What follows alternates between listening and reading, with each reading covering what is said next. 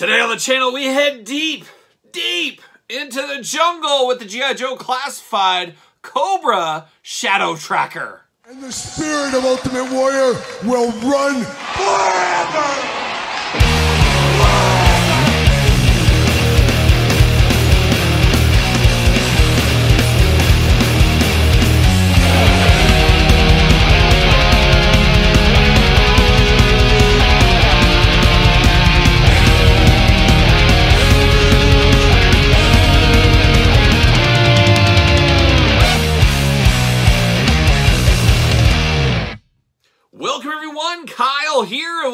Channel for another G.I. Joe Classified series, unboxing and review. And today on the channel, we got a little Walmart exclusive action, as we got the old Shadow Tracker. But for all your Shadow Tracker needs, well, Walmart for now, but all your other G.I. Joe needs, make sure you're hitting up Entertainment Earth. Use discount code KYLE, save yourself 10% on all in-stock items. Anything over $79 does ship free. Got to get a deal out there, as we do know. And the Shadow Tracker, an interesting one. Of course, we also unboxed uh, from the same wave, I guess we'll call it Walmart exclusive, uh, the Wolf Spider. Now, Wolf Spider and Shadow Tracker, both a little bit deeper cut Joes out there. I have no history with the Wolf Spider, but Shadow Tracker was a very popular 3 and 3 Force one 10 years ago. Uh, what is time, as we always do say. But that was one of the harder to find ones in back in the G.I. Joe 3 and 3 fourths days. Always enjoyed that figure. Have to imagine I'll enjoy this one as well. I can just imagine if I had him as a kid, he'd be hunting down Recondo somewhere in my uh, figure fed if I'd be playing with. But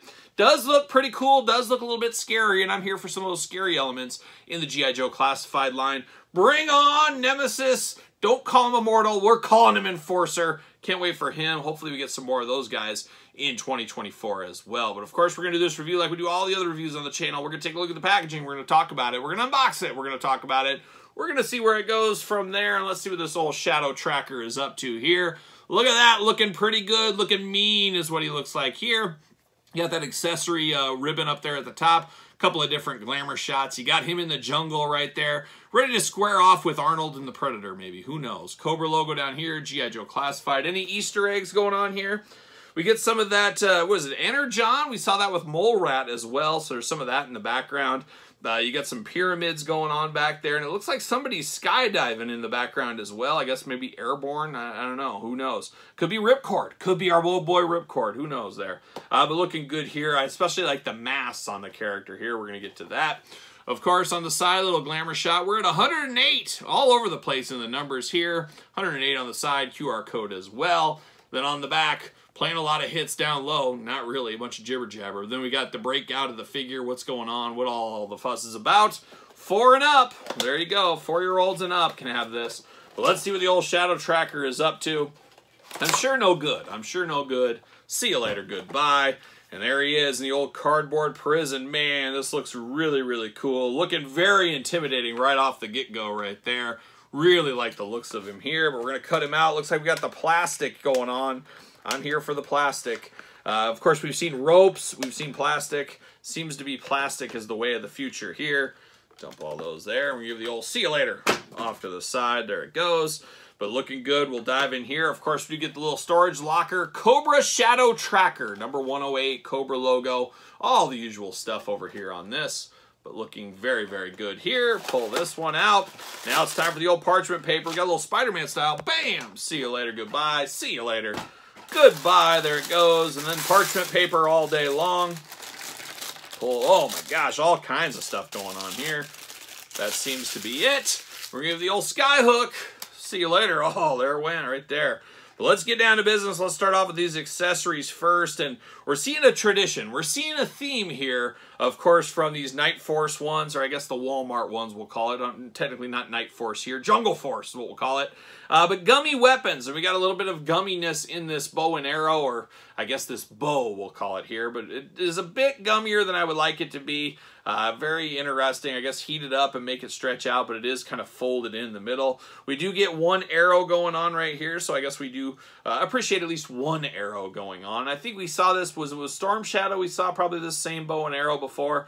Uh, I know we've seen it somewhere along the line, but only in one color. That's kind of a theme with these Walmart ones as well, as we've noticed. So we do have that going there. We do get a backpack here with more arrows. Uh, I like that they're in here. They're not removable, so that is cool. But you can put this one here for storage. You can just plug that right in there somewhat easily. Oh my gosh, but there it is. It does plug in if you need to do that. Got a peg to be in his backpack there. Uh, very good. And then, of course, you got storage on the sides here, storage on the side on here. Love to be able to store all this stuff on the character. That is ideal for me. All in black once again here on this one as well. Not a lot of color themes on this one here. But now we're going to keep diving in and we're going to look at this. Get a little bit of an axe going on right here. And a little bit different than the Range Viper axe we've seen before, used a few times. This almost looks like a tomahawk of some sort. Once again, all in a black color. Not a lot of variation to this one is what it is. And then we get a little piece right here almost looks like I don't know what this. Oh, this goes on the on the uh, bow here. So we plug that in the front, I believe. I believe. I thought that's where that. Yes, it does. Okay, it goes in the front of the bow there. So that must have came off. It is removable. I don't know if it needs to be removable, but it is. So we do have that going on. You got a big old knife going on right here. All kinds of crazy angles on this. You get stabbed with some of this, it's just game over for you. Nice silver blade, nice black handle. At least we got some color on this. I would have hated if it was all in black. Looks a lot better, looks a lot more menacing that way. But no weapon, no uh, gun, no uh, shotgun, nothing else. He's just taking it to the streets or to the jungle, more like it here, with a little bit more primitive weapons with uh, knives, axes, bow and arrows. He doesn't need a pistol. He doesn't need a firearm it is what it is. But now we're going to dive in here. We got to talk head sculpts first on this one. Very cool skull design. The green and black attack like a young overkill. Shout out to New Jersey. Uh, looking very cool on the head on this one. Very, very cool. Looking very uh, fearsome is what he looks like here. Wouldn't want him tracking me in the jungle, that is for sure. But looking very nice. Love the dreadlocks going on. Absolutely cool dreadlocks here.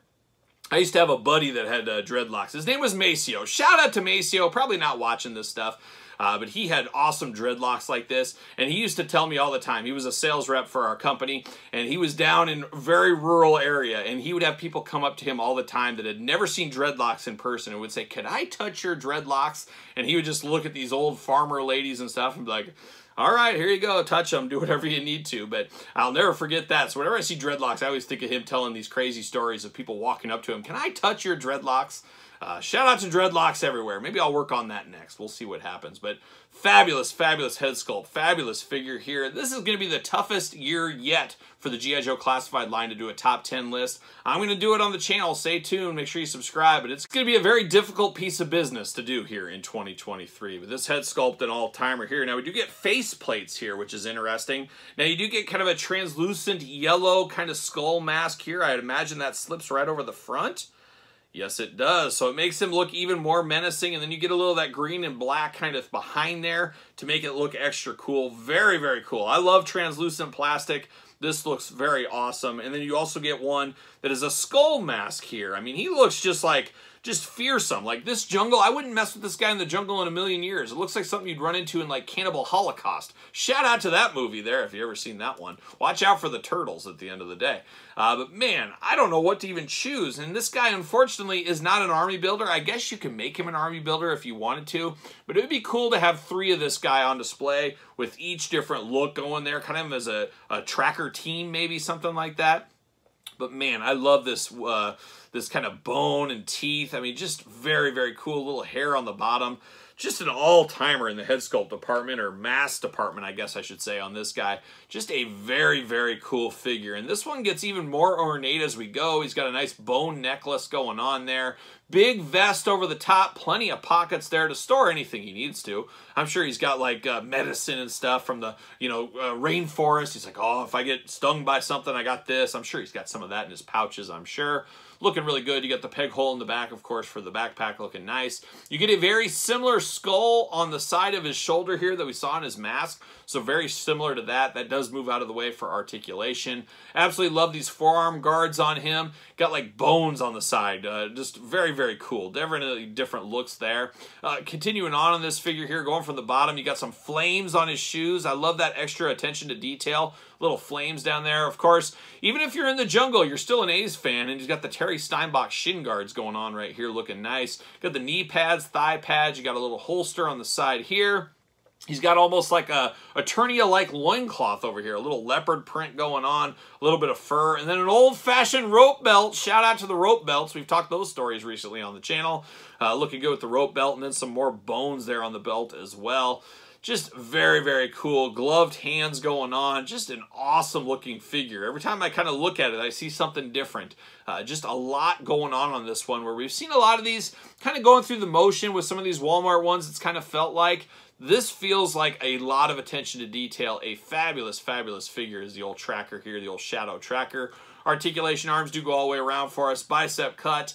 Double jointed, pinless elbows. We're here for that. Hands back, forth, side to side. Two trigger hands on him here. You do get waist articulation a little side to side. He does have an ab crunch inside there, but you're a little bit limited, of course, by his vest. Big old shadow tracker splits if you do need them. Thigh cuts looking good. Of course, drop down hips, G.I. Joe style. Double jointed, pinless knees. We're here for that, of course. Boot cut, ankles up and down, side to side, back and forth. All the usual G.I. Joe articulation here. We are here for that all day long. Just a fabulous figure. Once again, I've said it a few times, a fabulous figure. Does he fit on a ringside collectible stand? Use discount code Kyle. Save yourself 10% at ringside collectibles. What do you know? Fits perfectly right there. Man, oh man, am I here for this. I love this figure. I knew I would like it. I love the 3 and 3 fourths version. I know it's a head scratcher for a lot of G.I. Joe fans as he's a pretty deep cut character, but man, is he a cool character. Going to have him and Recondo squaring off. It's going to be an epic jungle battle is what it's going to be at the end of the day. But a fabulous, fabulous figure. So far out of all the Walmart exclusives, he is going to be my favorite one so far. And of course, I talked about the old Wolf Spider we recently unboxed kind of side by side right here. I'll take the Shadow Tracker over him. I'm here for the jungle all day long. Take him over the Wolf Spider. Very, very cool figure, no doubt about it. One of the best of this year, in all honesty. I really like the attention to detail here. So there it is. What are your guys' thoughts? Is this a pickup for you, a pass, a long game, a no game? Let me know your thoughts in the comments down below. And you made it this far, might as well give this video the old thumbs up. Always helps the channel, as you guys know. Don't forget to subscribe to this YouTube channel. Turn on the old notification bell. And don't forget about Patreon for early access to both YouTube channels' videos, bonus content, exclusive content, monthly Q&As, pizza reviews, dog stuff, you name it, it's all going on over there, the old Patreon channel. Patreon, best place to support this very YouTube channel and all the madness it does bring. You can also support the channel at ProWrestlingTees.com, search Kyle Peterson, and don't forget social media, Sir Paul64 on the X, the underscore Kyle underscore Peterson on Threads, and on Instagram. So, for the mighty Jungle Tracker, I am Kyle. See you guys all real soon.